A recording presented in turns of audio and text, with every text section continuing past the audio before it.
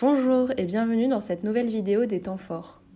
Cette série a comme objectif de vous permettre de bien vivre les temps forts de l'année liturgique. Aujourd'hui, nous parlerons du temps du carême. Après le temps de Noël où nous avons célébré le mystère de l'incarnation, le temps du carême nous fait entrer dans le mystère de la rédemption où nous célébrons le sacrifice qui nous sauve, où Jésus donne sa vie pour nous. Pendant les 40 jours du carême, nous sommes invités à regarder Jésus dans son séjour au désert, où il prie et fait pénitence et limité à notre petite mesure. La dernière semaine du carême, la semaine sainte, nous sommes invités à le suivre dans sa passion et compatir à ses souffrances et à sa mort sur la croix pour nous sauver.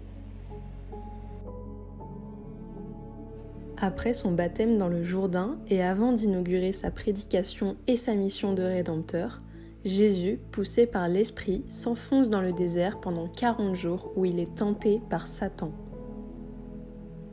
Durant ce temps dans le désert, Jésus prie et fait pénitence, sans manger pendant 40 jours et 40 nuits. Il résiste aux attaques du démon, celui-ci s'enfuit. Au désert, il nous apprend comment faire dans les tentations. Il faut faire comme lui, prier et faire pénitence pour résister au démon. C'est le seul moyen de le faire fuir quand il nous tourne autour avec une tentation. Mais alors, comment allons-nous vivre le carême? Marcher à la suite de Jésus demande de s'engager sur la voie de l'effort et du renoncement. Le carême est alors un temps pour reconnaître la place du péché dans notre vie, un temps de purification et un temps privilégié pour la réconciliation. La première étape est de reconnaître la place du péché dans notre vie. D'abord, le sens du bien et du mal. Dieu est amour, il nous a créés à son image, à sa ressemblance. En nous créant, il a mis au fond de notre cœur une petite voix, comme un radar, la conscience, qui nous prévient. C'est bien, c'est ce que Dieu veut ou permet, ce qui nous conduit vers lui. Et c'est mal, c'est ce que Dieu défend, et c'est ce qui nous éloigne de lui. Les commandements de Dieu sont le code de la route de la vie humaine. Le bien et le mal sont définis pour nous dans les commandements de Dieu. Dieu nous indique ce qui est bien ou mal, mais nous laisse toujours libres de choisir, de décider nous-mêmes ce que nous voulons faire. C'est parce qu'il est amour que Dieu nous laisse libres. À nous de lui montrer qu'on l'aime en lui obéissant librement. Mais lorsqu'on profite de sa liberté pour faire ce qui est mal en sachant que c'est mal, c'est un péché. Un autre principe important du carême est la pénitence. La pénitence est d'abord une attitude intérieure.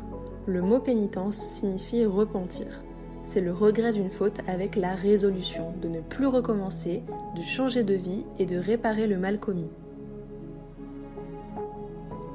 La pénitence est donc d'abord une attitude intérieure, une conversion, celle pleine d'humilité du publicain à genoux au fond du temple qui se frappe la poitrine. Mon Dieu, pardonne aux pécheurs que je suis. Pour être vrai, juste, l'attitude intérieure de pénitence doit se traduire par des actes pratiques, des efforts et des sacrifices. C'est par des actes concrets que nous comprenons le mieux à quel point l'importance que ce soit toujours l'esprit qui commande le corps et pas l'inverse. Voici quelques actes pratiques. Dire toujours la vérité, être plein de patience, de douceur et de bonne humeur, rendre service, faire plaisir, aider, lutter contre son défaut dominant et refuser les conflits, pardonner. Enfin, le partage. Durant le carême, il faut partager avec les autres, aider ceux qui manquent du nécessaire et ouvrir son cœur aux autres. Le carême est un temps privilégié pour la réconciliation. Il y a trois étapes. Se réconcilier avec Dieu, se réconcilier avec soi-même et enfin se réconcilier avec les autres. Pour cela, il faut passer par le sacrement de la réconciliation. Pour se confesser, il faut d'abord réfléchir sur soi-même et regretter tout ce qu'on a fait de mal. Ensuite, on va dire tous ces péchés au prêtre qui représente Jésus. Par la main du prêtre, revêtu de l'étole violette, la personne qui se confesse reçoit le pardon de Dieu. Nous recevons alors l'assurance totale d'être réconciliés avec Dieu. L'entrée en carême est marquée par le mercredi des cendres.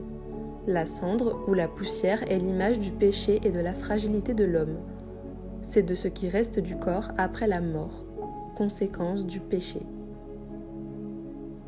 Quel est le sens du geste de l'imposition des cendres?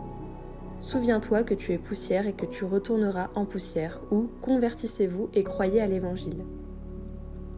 En prononçant ces mots et avec ce geste, le prêtre nous rappelle que nous ne sommes rien sans Dieu. Si nous n'acceptons pas sa présence dans notre vie, si nous refusons sa grâce, si nous préférons les choses de la terre aux valeurs spirituelles et éternelles que Jésus est venu nous proposer. Et voilà, c'est la fin de cette vidéo, voici les points importants à retenir. Il faut retenir le principe des 3 P. Prière, quelle résolution? Pénitence, quels efforts? Et partage, quelles attentions aux autres? Cette vidéo fait partie de la série Les temps forts disponible sur le site www.apprenez-nous-à-prier.fr. Cette série a pour but de vous permettre de mieux vivre les temps forts de l'année liturgique. Vous pouvez par exemple y retrouver la vidéo sur la fête de Noël et la vidéo sur la Semaine Sainte. À bientôt!